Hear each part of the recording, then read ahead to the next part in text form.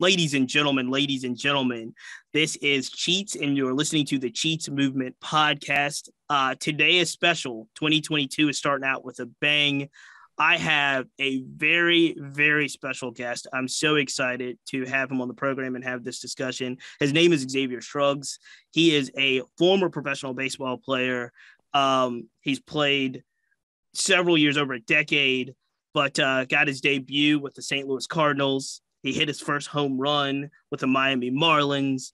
Then he was again an absolute monster in the Korean Baseball League for two seasons, uh, and also played uh, played in, in, Mexico as well. Played a bunch of summer league. Um, he's a pro man. He's a professional baseball player, and like we said with the with the tagline "more than an athlete," he is the epitome of that. Uh, Xavier, since he's uh, hung up the cleats, has done amazing work in the media space. He's done amazing work mentoring youth. Um, he's even signed on as a diversity consultant for his uh, old club, the St. Louis Cardinals.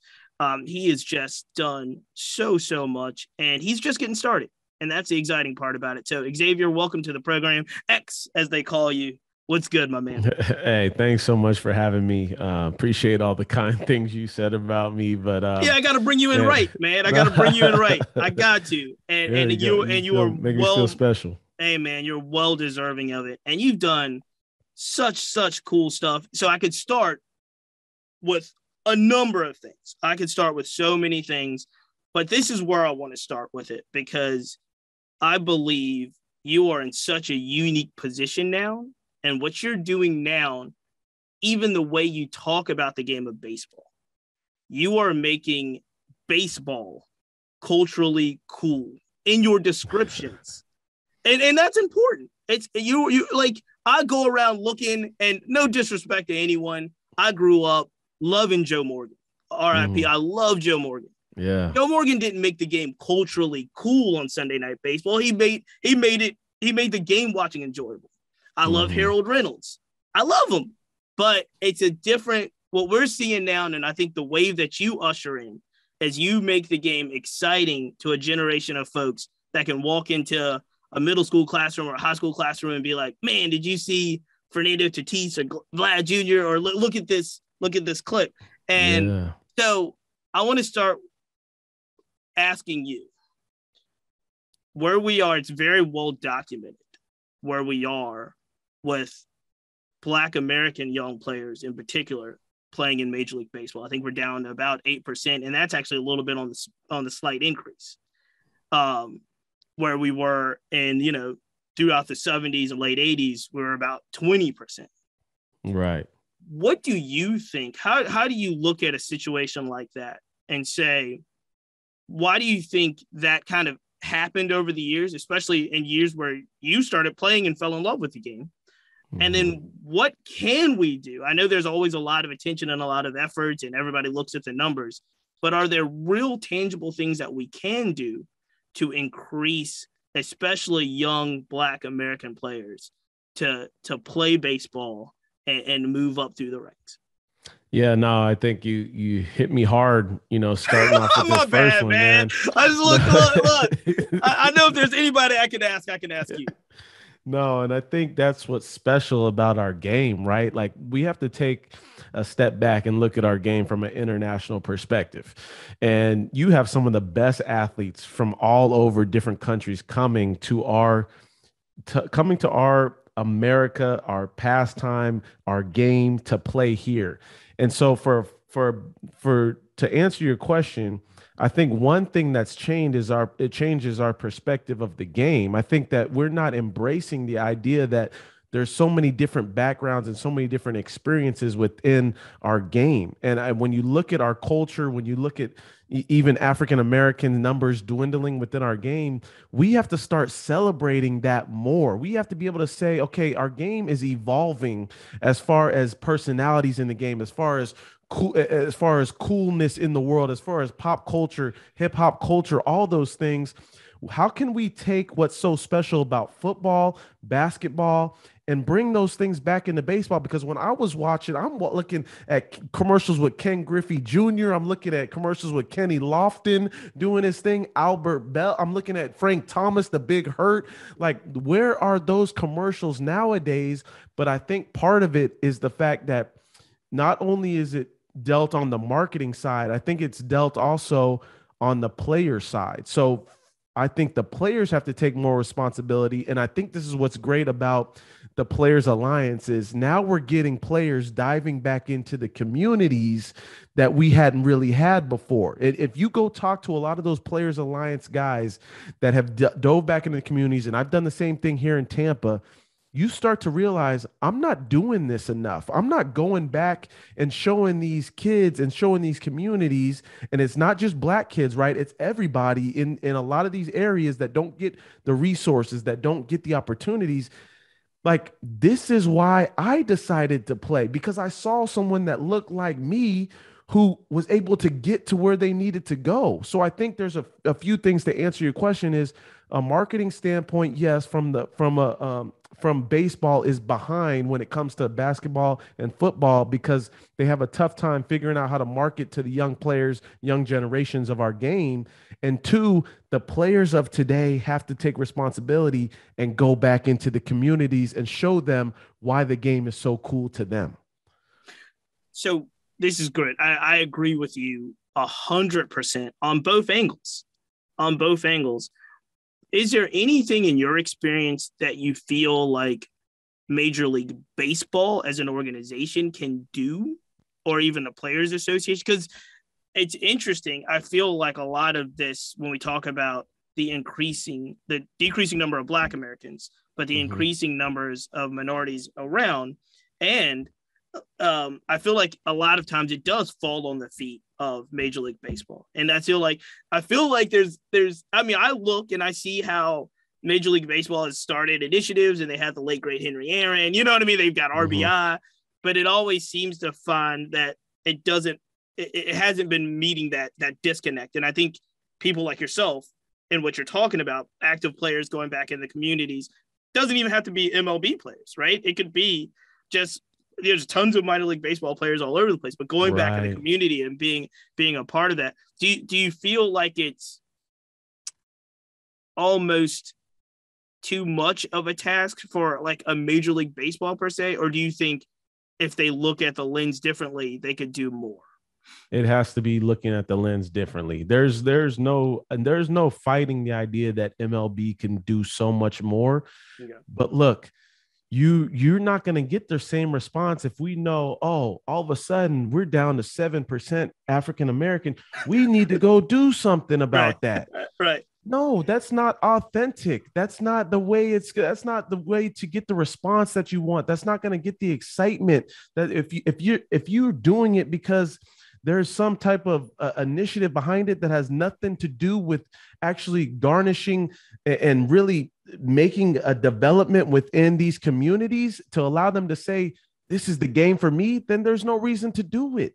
That's what i think is so special about like even the changing the lens of the players alliance because yes we understand the, the game is dwindling for young african americans but i think now you're starting to get an idea of perspective from the players alliance like man, we're not this isn't just about the numbers right? This is more about actually making players young young communities and these communities that don't have the resources understand why this is our pastime why you you start to dive into i, I know i'm going off a little bit you no no you're not. you're right on target um uh, the uh, the negro leagues and learning from guys like bob kendrick who have their own podcast now like when you start to learn what's so important about our game from the past like then you start to realize how you affect the future of our game. And so there's so many different outlets that are doing it authentically. What i'm saying is mlb has to figure out a way to not just do it because of the numbers. Mm. they got to do it because it's the it's it's right for our game. And i think that's what they've done so well in the dominican. Think about that you know there's so much talent in the dominican why not go invest so much money in the Dominican and bring the, we could be doing the same things here and here and here more and more. You're doing it over in Korea, you're doing it over in Europe. Like, continue to find ways to do it here because the talent is already here. And sure. I think that's and that's what's special about our game. And I think as long as we continue to figure out ways to to dive into that and do it for the right reasons, I think you get a better response from our communities. I think you're 100% correct. I think it's interesting because um, obviously I'm a bit of a Negro League historian myself. At, at uh, I'm not look, I'm Love not it. nowhere near uh, the level of uh, the the the wonderful leader that you've mentioned, Bob Kendricks, over at the uh, at the um, the museum over in Kansas City. But the interesting thing is, and I, and I think we have to figure this out because when you really start to look at growing the game and what's happened, especially overseas with the uh, the baseball academies, um, eh, you know, there's all of these different layers and different factors, and it's so uh, it's it's really interesting to look at, but it's also very complicated, right? So yeah. what happens is back in obviously in the late 40s it was a very similar setup to what you see at baseball academies to what you saw with black players in the Negro leagues. There was no, yeah. there were there were kind of ready-made players, right? There was a little bit of a, um, you know, they signed them to free agent contracts, and they they didn't have to be kind of kind of groomed in the system uh, that we see now. Which I'm starting. Look, I'm starting to learn as I follow more global soccer that our draft system is by far it's a it's a very American thing to go through middle school, high school, college like you did at UNLV, mm-hmm. get drafted twice, and then you know sign with a team. As opposed right. to like globally in soccer, they identify a 12 year old and he's on Barcelona's farm club and get pulled up to the when he's 18 years old. I say all that, I, like you said, I say all that to say it's interesting because what I think one of the things that has happened is that a Black American players have been put into the system that is basically just a universal American system. So whether they have the means to play summer ball, whether they have the le- means to play travel ball, whether they have the, the you know the leadership uh, in mm-hmm. their in their youth development or leadership in their high school um, to to get on the map, right? To get on the map and, and play in these places like the Cape Cod League or something, you know what I mean? Yeah. Uh, yeah. So they're in that system while they're still kind of the the baseball academy systems where you can go and say, "Hey, he's 14 years old in the Dominican Republic. We can we can watch him and sign him." Right? You know right. what I mean? It's like right. so. There's all of these things, and I, and I, but I think you've hit it on the head. Uh, and the one thing you did, uh, there's a couple things you hit on right on the head, but the authenticity of doing it because you realize the end result is better for our game mm-hmm. and better for society. And I think that's one of the things when we always look at all of these initiatives around all the sports, and everybody's like, why doesn't the Rooney rule work? Like, uh, you know, these black coaches yeah. in the NFL are interviewing. And I yeah. think you've actually hit it. They're interviewing without the often authentic chance to get the job. So they right. can check a box off and say, oh, yeah, we got the Rooney rule. And Rooney rule has done some good, but right. it's not an overwhelmingly result that they want simply because of exactly what you said, X. I think you've hit it on the head. Yeah, and I think an example of that within Major League Baseball, and it's not an African American, but I sit back this year and watch the Cardinals. Um, they fired their manager in Mike Shildt, but then they hired a, um, a minority manager in uh, Oliver Marmol and we're talking about a, a, Cardinals history of you know not having the minority no, manager. And, not at all. we understand the history of the Cardinals and and some of the backlash they've gotten for kind of being on that side when it comes to their team, when it comes to that culture, um, that organization. And I think what it does is it tells you if even the one of the teams that's been almost in that one shaded area of not being a part of that um, it tells you that they went out and found the best guy available for the job, no matter the skin color, no matter the background, whatever. And I think that's got got to be more of the thought process when it comes to all of our sports. But just if it's the right person for the job, it's the right person, you know. You that's a great segue. You uh you took on a consultant role uh with the Cardinals. Am I correct? Am I correct yes, about this? Yes, about uh basically, you know, kind of diversity, inclusion, and equity, all the stuff that happened around 2020 in society, obviously impacted baseball. But you took on this role as a consultant for your old club, and now I guess you're a couple things that were fascinating about this. You actually, correct me if I'm wrong, but you actually got training at Cornell, is it, to do yes. this particular type of work? Yeah. Now, now, brother. again, ladies and gentlemen, a UNLV college baseball player drafted, you know, career that spans over a decade, and now you see what was happening, and you had a passion to take classes, not just at any school, but Cornell, to talk about diversity. Uh, tell me a little bit about what led you to that path, that decision, and also what type of work have you done, are doing, and hope to accomplish in this role with the Cardinals? Yeah, man, I appreciate you asking. So, um, 2020 was the same for me as a lot of other people. Um, not only when it came to the pandemic, but I'm looking around and I'm seeing all the political issues that are going on in our world. I'm seeing um, the racial issues um, and just feeling like our country seems so divided. And I wanted to learn more about kind of before I before I spoke on something, I wanted to learn more about it uh, via education. And and I talked to my dad, and he's he's he's been in human resources for a long time, and mentioned, hey, maybe you should go study at Cornell, take some classes with Cornell, and I did that, and really started to understand that you know I looked around and I was like, is there anybody that that is really helping these players when it comes to specific organizations um, to figure out w- what we're talking about when we're com- when we're talking about uh, racial uh, you know issues and in our country being divided on certain uh, certain things when it comes to um, political stuff and when it comes to speaking out when it comes to your platform when it comes to your influence as a player and asked around and i uh, most specifically asked the cardinals if there was someone that they had like that that could be able to talk to players coaches staff whoever it may be and they didn't have that. And, and, i said this is a time when teams really need it. And, and i presented the idea to uh, john mozeliak and he was right on board with it um, even during a time when they were firing people not hiring people within the organization. And i think he understood the need for it. And and I think for me, I understand not only the need for the team, but also I looked at there was a players alliance group text message going on, and a lot of players were so confused as to, um, you know, what they were going to do when it came to taking unity uh, on certain issues. And I said, there's got to be people that help them. You know, it, there's got to be people that allow them to understand what's going on in their communities, allow them to understand what's going on uh, culturally.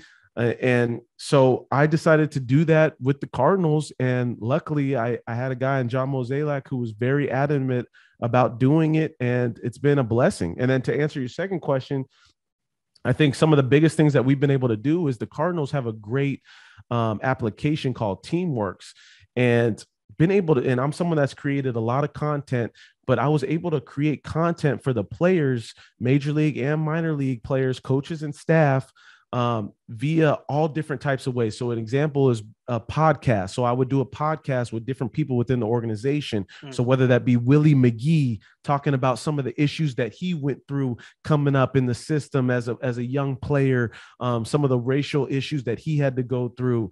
Um, you know what advice he would give to players today. Same thing with sitting down with the Cardinals communications director. Uh, what are some of the things I should be using my platform on on social media for? What are some of the things I shouldn't be doing? Um, so being able to provide this information to these players, same thing with their communities that they're going to. A lot of these minor league players are going to communities they're not familiar with. Mm. How do we give them the resources to understand how to live a day, a live everyday life in Memphis, Tennessee? If I'm from San Diego, California, and I got to all of a sudden uproot and go to Memphis, Tennessee, that's going to be a culture shock. So being Absolutely. able to do those things via the application, via videos, you know, you know this better than anyone. Everybody uh, consumes the content differently. So being able to a- add a wide array of content um, within for the players and, and, the coaches and staff that was big. X, how did you navigate throughout your career? Because as anyone that's played baseball at the level that you played played baseball with, there we know that there's a lot of like you said international influence in the game, even going through the minor leagues.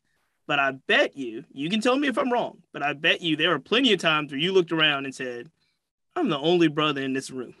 Yeah. nobody 100%. has the how, nobody has the experience that I have. Like they're not going through the same experience.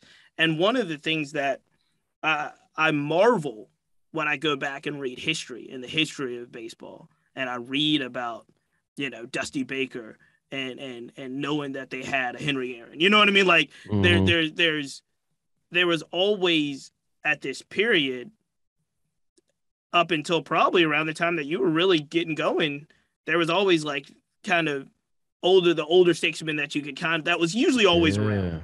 But you yeah. probably, like I said, came up in a situation where you were looking around a lot of times, whether it was from travel ball to UNLV, like looking around and being like, yo, I'm the only one. How did you navigate some of the challenges that you're trying to now help navigate for for others? Man, it, it, it was tough, man. And I think I'm so grateful that I had the right people in my corner, right? Notably my parents, um, some mentors. I had a guy like David Justice that I could talk to growing up. Um, multiple guys. T- T- Tony Gwynn was another guy. Mm-hmm. Um, so I had some people that out that were in was in my corner growing up. But it's always a struggle because, like you said, you look around, you're like, man, some some of these guys are not going through the same experiences as me, and I think that's what kind of shaped, um, obviously, who I am today. But um, I really tried to you know, understand the fact that just because I don't have necessarily everybody that I need as far as right next to me, um, I still have to be able to lean on the people that I know that are going to help me. And uh, I think if you can get the people in your right corner, in your corner, um, that's big. But another thing too was I think you meant, and you mentioned this and reminded me of this is even my time in the minor leagues going with the Cardinals, I remember there were other players I would call other black players. Hey man, like we just had dinner with uh with Willie Mays. He got mm. all the brothers together and we were just talking about some of the things. And I remember the same thing, the uh, Dusty Baker, um, uh what's home uh homeboy with the Braves, the infield coach. I'm now I'm forgetting Terry his name. Pendleton? Um no, no. Um he used to be a he used to be the manager. Uh, uh I can't. Uh, it'll come to me, but okay. like different guys, right? So, and oh, I didn't have Ron that. Washington. Yeah, Washington, Washington. Yeah, my bad. I can't, so, can't no. forget Ron. I was yeah, like, I was like hold on, now there's not too many over there. Let me figure it out. All right. Yeah. So uh, that's dope, man. That's I don't know. Dope. I blanked on that. Yeah. So I would have guys. That, so I thought that was really cool, but I didn't have that. So I really tried to like dive into relationships, man. Like I like I understood that it maybe if it helps me if I can be able to talk to multiple different people and if I can pull one thing from that guy, if I can pull one thing from this guy, that way I don't have to lean on just myself. And I think a lot of the problem today is especially as men when you feel alone and you have to feel like you do it all yourself and it's an ego thing but at the same time i think it's an african american thing too that sometimes you know when we don't have another one with us we feel lost, right? And I think it was important for me to go get different perspectives. That way I can build off of that foundation on my own. Man, that's that's crazy. It's awesome. Let me switch gears because you have so much going on. And like I said, we could go to so many different directions, but you have really got into this media thing. You have really dug in to this media thing. And I and I was joking on your intro and said you were vlogging before vlogging is cool because you were vlogging several years ago on your travels and uh, you and your wife, your lovely wife, yeah. and then your family. Um, have you always been interested in media?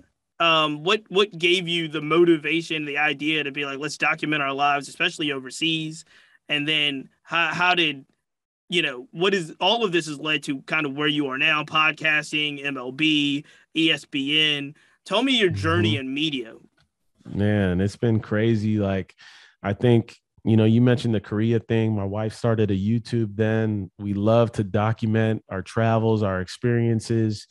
Um, and I think one of the biggest reasons is because, like, I, I think in, order for and i think i got this from my dad too because he like document everything with that old video camera oh, just all the time dope. would be like here that's like dope. all you, the yes all the lot, time a lot of games on there i'm sure so yeah exactly so i think one thing is ha- having those memories and knowing that there's people that you can you can build an authentic community with that love those sharing those experiences with you. And i think once you start to realize like man somebody's actually waiting for this video like friday every friday somebody's waiting for this video like but that's cool to know that they support you. So that was something really cool. And then realizing I can do the same in the media sense with young players, young people that I want to give back to. Like I want to give all the information about the game that I learned and more back to a, a young generation. I can do that via social media. I can do that via media on TV, MLB network, uh, radio, ESPN, whatever it may be. I can do that just by talking about the game. Like, how many people can say that they can do all those things and give back to a community just by talking about something that they love? So, I realized that that was something that I was interested in long time ago when I was a young a young player in high school. My parents always pointed out to me people that use their platform, athletes that use their platforms in a certain way. And now, just now, I'm starting to understand why it is that you use the platform that you have. It's not for you it's for everybody else. Oh. And so where are we now? Again, you've got podcast upon podcast.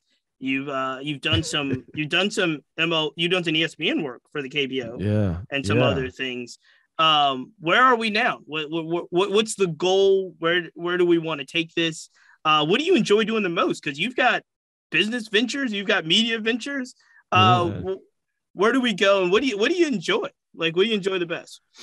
Honestly, I don't know yet. Just because I'm just you mentioned, I'm just touching the surface. Like last year, I just started doing this thing. Oh, so i love like, it. I love I it. love I love like radio, love TV. I, I definitely think my face needs to be on TV, but but no, I just like talking about these different issues, these get the games, things outside of just the numbers, right?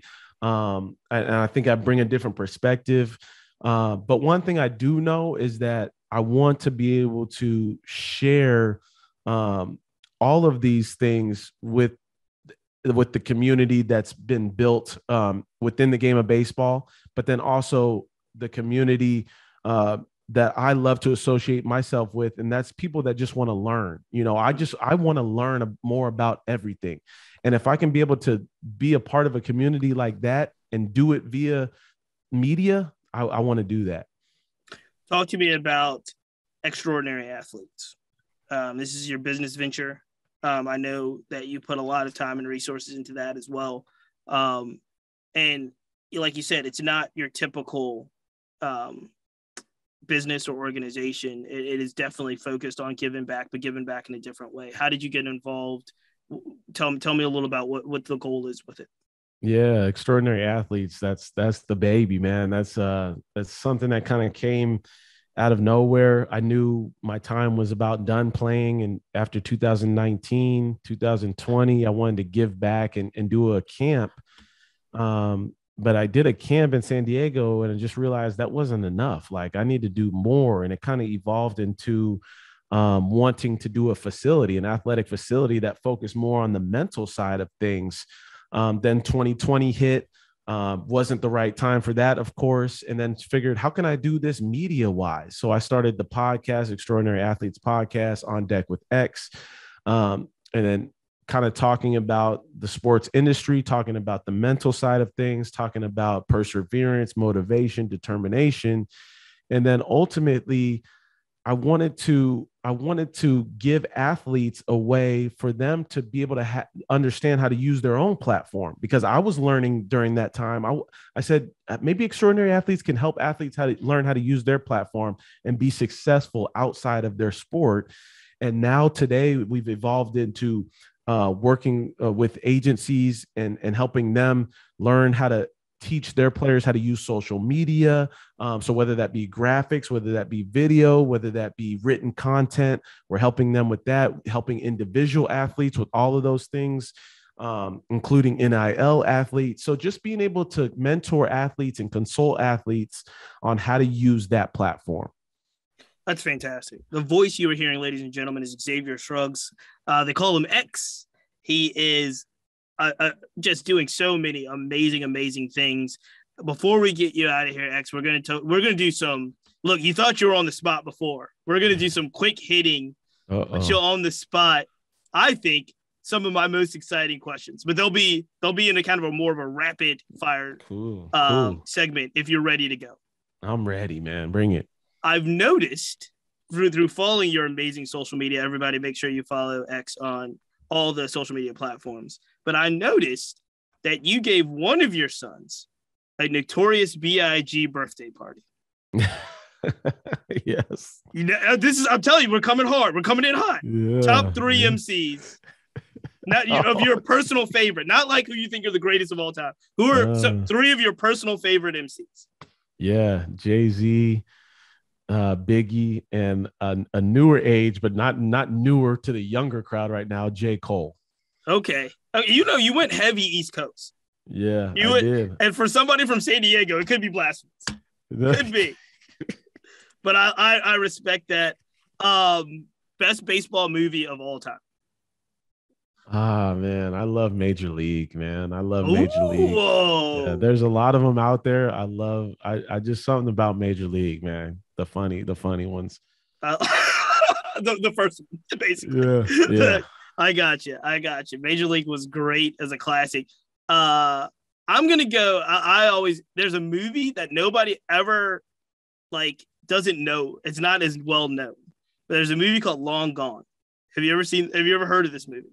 No, I don't think so. Long Gone. Um, uh, guys, I think it was William Petersen, the guy from CSI, played a uh, stud Cantrell, and uh, uh, Dylan McDermott, I think, or somebody like played. it- It's it is inappropriate. It's it's a they're a uh, they're a minor league baseball team back uh like in, in I guess in the 40s like um wow, and it's um and it's completely inappropriate, but it is uh I'll check it out. it's it's hilarious. It's it is hilarious. Uh, and then obviously got to give a nod to Black History with Bingo Long, Traveling All Stars, with Mhm. um, Yep. Billy Dee Williams and James Earl Yes. Jones. Yeah, that that's, that solid. that one gets better as you get older because you understand more. you start to going through. understand it a little bit more. Yeah. Then, All then right. you understand why your pops was watching. exactly because it's great. All right, couple couple more hard hitting ones. Mhm. Uh, most and I think you've done this for under twenty five on your social media, but most exciting player in the game right now. You don't no age limit. Most exciting player in the game. Shohei Ohtani, the most exciting Oh, player in the he's game so right good. now. He's so good. You're exactly. You're. I think you had. uh uh, what was it? Tatis two. Shohei number yeah, one. Yeah, Tatis was up there. I had uh, Ronald Acuna Jr. Yeah, Oh man, there's so many exciting players right Games- now. game's in a good spot. Uh, most unique teammate.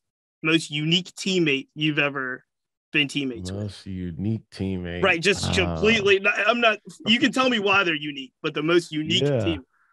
Most unique teammate. I got two of them. Uh, I got Randall Grichuk. He's from like a smaller town in Texas. Um, it was almost like he's he's with the the Blue Jays now, but we were roommates for a while in in in uh, minor leagues and in and we played together in the big leagues. But just like I mean, you would have no idea that this guy was a baseball player. Just like not even thinking about baseball, just like more concerned about how his hair looks in the morning for an hour long. Uh, you know, didn't didn't realize how strong he was. It was just one of those one of those funny guys. And then uh, Tommy Pham, a guy that I played with for a long time in the Cardinals organization. Um, just a character. Like this guy needs his own show because um, it, just the way he approaches life in general. Because he's from Vegas, so he naturally thinks he's like a pimp. He thinks like he's a Vegas pimp. So it's like it's funny to watch him about his business. Toughest picture you've ever faced. toughest pitcher I've ever faced.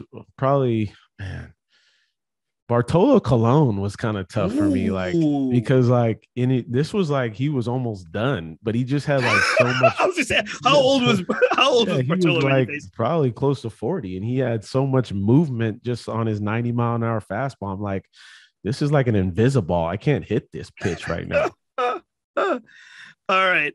I'm gonna I'm gonna I'm gonna go back to to to a little bit of a serious question um, because I think it's important for our audience to know, and it's uh, important because you also um, I've seen you speak about uh, your your kind of faith walk in several um, several different interviews, and, Yeah. and it's always something that I think um, whenever I get the chance to talk to athletes um, about kind of their journey in faith and how they've leaned on it, um, we hear more and more today every day about uh, player athletes with mental health. Um, you know, we leagues focusing on mental health, anxiety, stress, depression, all kinds of things.